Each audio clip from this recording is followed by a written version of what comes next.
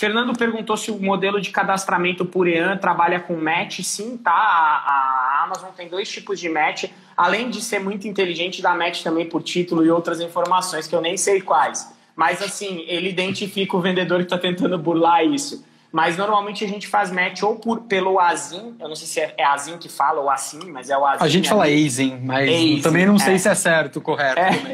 Aqui a gente que é pode falar o que a gente quiser. Isso, pelo Azim, que é, é, um código interno do produto, e esse código, se, se você tentou um EAN e ele não deu match, às vezes esse produto foi cadastrado com outro EAN e vinculado ali, e você não tem o EAN que está cadastrado, pelo Azim você consegue dar um match mostrando que é esse produto que você está vendendo. E pelo EAN também. Mas se você tentar subir esse produto 30 vezes, muito provavelmente a Amazon vai descobrir que você está tentando fazer isso e vai te falar: peraí, Luizão, você não está tentando anunciar esse daqui que você já não anunciou ou não é esse produto?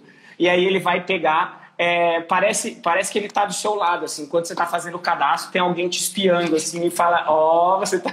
E ele pega também, né, Luizão? Para manter o cadastro limpo, na verdade, né? Esse é o objetivo. É. E eu acho que esse é o principal de, assim, quando você quer procurar, se você quer procurar uma caneta BIC, você não quer 50 páginas de caneta BIC. Você quer a melhor, a melhor oferta de caneta BIC para você que está em Manaus, para você que está em Curitiba, para você que está em São Paulo. E todos esses vendedores podem não ser o mesmo porque cada região vai ter um outro ponto. E até esse ponto que você estava comentando, que eu acho que é um, um, um, ponto que a Amazon tem, a gente tem essa obrigatoriedade, quando você vai subir o catálogo, do código de barras. Mas caso você não tenha código de barra, que acontece muito em moda, em confecção, você pode pedir essa isenção. Então entra lá no, no Seller Central da Amazon, digita ali em cima, isenção EAN. Pum, na primeira página vai ter como é que você faz.